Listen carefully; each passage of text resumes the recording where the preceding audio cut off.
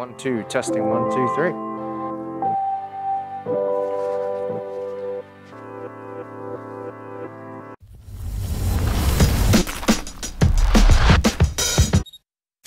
This is, uh, this is cool being in the middle of the ocean, maybe, maybe flying around.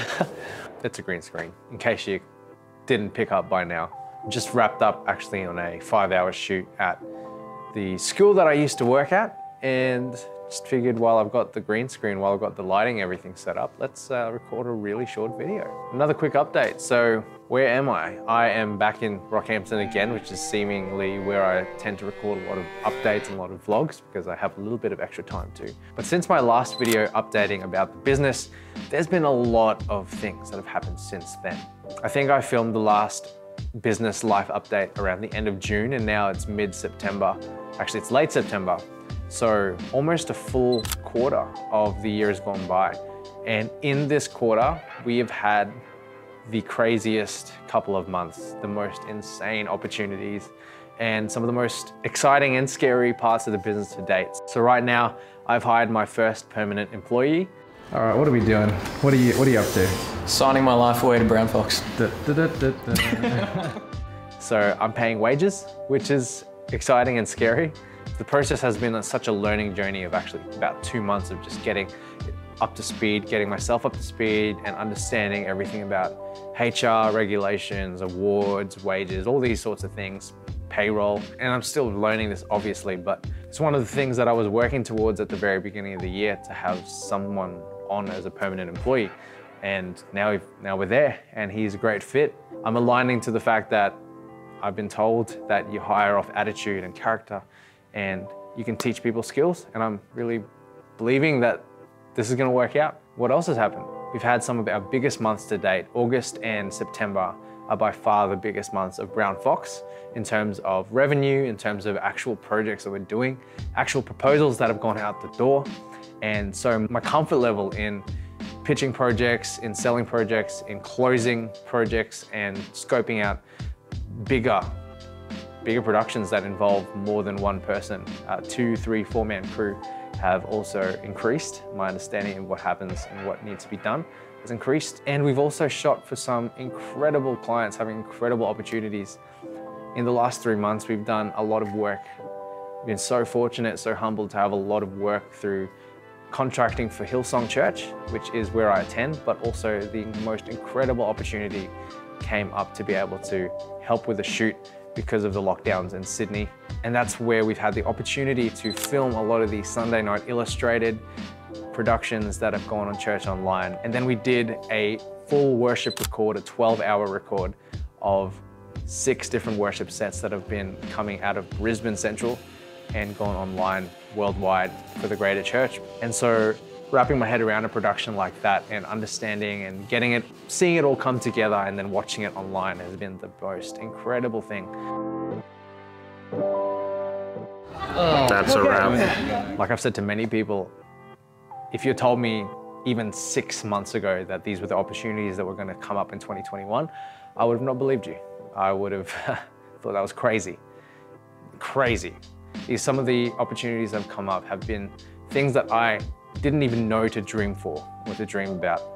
And it's just, I'm very, feel very grateful, very humbled and honored that we have the opportunity to do this. Also understanding, getting the opportunity to understand the kind of work that I really love, kind of people that I want to work with and work for.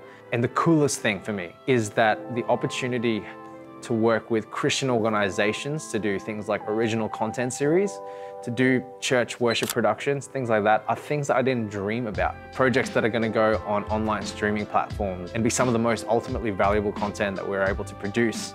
And to be able to be professionally engaged to do that, that's something that could not have imagined when we started, when I started Brown Fox a couple of years ago. And yeah, it's a wild ride. And I'm so excited to see what else this year is going to hold, what other exciting opportunities, because there's still three months left of the year and I've still got a lot of bigger dreams and goals even beyond this year. But yeah, I'm excited to see what happens next. I know that at the end of the year, I'm going to film another lessons I've learned, actually not just in 2021, but in my 20s. And already one of the things that I'm gonna touch on later as one of the biggest learnings of 2021 is that consistency, just going in, putting in work, even when no one's watching, every day, building every day, building skill, building competence, building all of the things without anyone even knowing.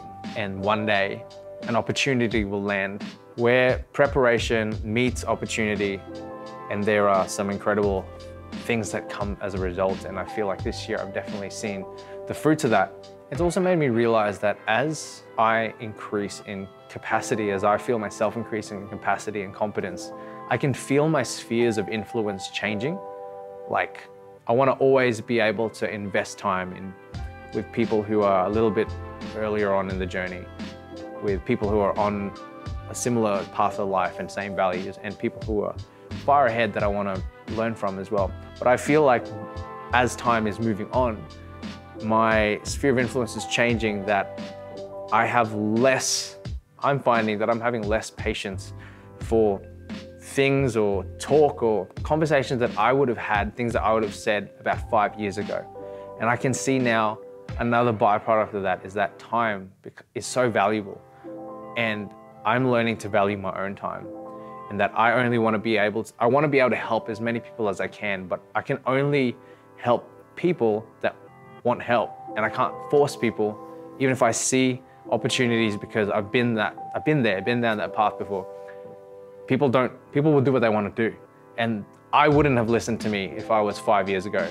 If I said something to myself five years ago and said, do this because it'll result in what you want, I wouldn't have probably listened or I would have taken a long time to action it. And I have to remember that. I have to empathize with people who are at those stages where I've been. And so I don't even know how I got on that topic, but it's just on my mind. But hey, still learning. I'm also realizing that the more and more experience that I have, the more I realize that you never really feel like you know it all or you can't, or you shouldn't. Because I feel just as, I guess, overall out of my depth right now than as I did a couple years ago when I first started the journey out of, I guess, on the road to running a full-time business. But I feel like that's also where I'm meant to be. I feel like I'm always meant to be one step out of my comfort zone. Otherwise, if I feel comfortable, I'm not growing. And so I guess this is all there to say, if you are watching this video and you know, maybe you know me personally, or you've been watching a little bit of the journey and the vlogs over the years, that I would tell myself in that first video that I put up on YouTube about starting a new YouTube channel, I would tell myself to just do it, to just do what I was doing. It's always better to do than, than to think about doing. Anyways, that was pretty deep. I don't know where I've landed in my green screen background so far. Maybe I could transport myself back to the office. Anyways, wherever you are on your journey, go for it, crush it, and I will continue making some updates as the months go on, and maybe some more actual vlog content. But in the meantime,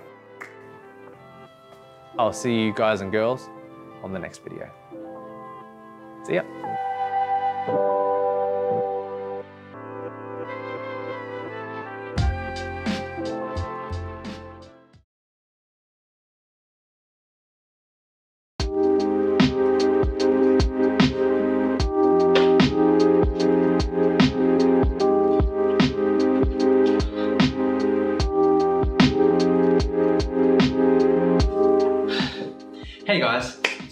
Making this video because, well, today's the day that I've decided to go all in. Today's the day that I've decided to put everything that I've been reading and learning about into practice and stop meandering about trying this and trying that and really focusing down on one thing and trying to make that thing work. And so today I'm letting you all know that I'm focusing down on my creative freelancing. It's been such a journey over the last year since I started putting things out on social media, YouTube, Instagram. And if you followed me for any length of time, then you would have seen the progression in me trying to figure out what I want to be doing, figuring out my side hustles, trying different things, Amazon, FBA, Shopify, cryptocurrency. And in the last couple of months, I haven't really been doing anything other than investing in myself, reading lots and lots of books, listening to podcasts, praying, really thinking about what it is that I want to be doing with my life. Everything has led to the same thing, and that is really to focus on my creative abilities. So you're hearing it here first that nothing else at the moment is a priority apart from building up my creative side hustle. And I'm filming this video as not only a way to vent it, but also to kind of keep me accountable in a sense so that you can follow this as part of my journey and development and yeah keep me accountable in case I decide to randomly do something else. I've had a couple great chats with some friends of mine who've really been doing well with their creative work and it's really inspired me to not worry so much about the money, not worry so much about what people think, but just to just get in there and start from the bottom and make my way up. And that's what I'm doing. Today, as of today, I'm calling it, I am officially, finally, finally just calling myself a creative freelancer. And yeah, everything leading up to this has been a part of the journey. Lately, taking up a minimalistic and intentional lifestyle has really helped me to focus down on what matters, on what's important, and it's just being creative. So here we go. I'm excited to see what the next little bit of time brings along my path and I hope that you're sticking with me on the journey. And I hope you enjoyed this little rant. So I will see you guys and girls on the next one.